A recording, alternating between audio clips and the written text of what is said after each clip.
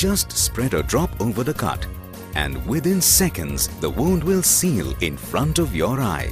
When applied, the ingredient comes in contact with the skin moisture and chemically changes into a polymer that binds the layers of the skin.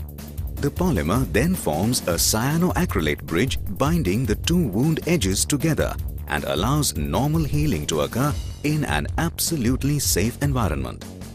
The conversion of the compound from monomer to polymer occurs rapidly, forming an impermeable bond, preventing any seepage from the wound.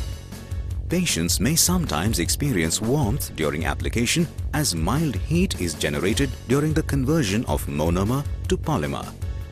The polymerization is very fast and is complete in approximately 10 seconds with maximal bonding strength within two and a half minutes, equivalent in strength to healed tissue at and has over 600 clinical publications. The N-butyl 2-cyanoacrylate derivative is the latest cyanoacrylate tissue adhesive used in Cutseal. Cut seal is blue in color and thus is easily distinguishable and is used for the closure of uncontaminated wounds. It is an absolutely painless alternative to sutures and staples for wound repair. It should not be used on the brain, neuronal surfaces and in vascular surgery. It is painless, instantaneous and leaves minimal scars, thereby gaining wide acceptance and continuously increasing its market presence.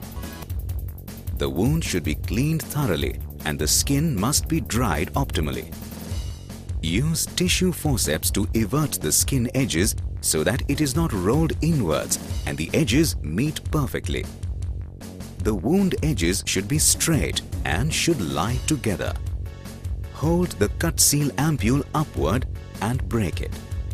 Aspirate the contents in the sterile dropper provided with it. The wound edges must be stabilized Cutseal is applied in the form of tiny droplets at appropriate intervals where the wound edges meet.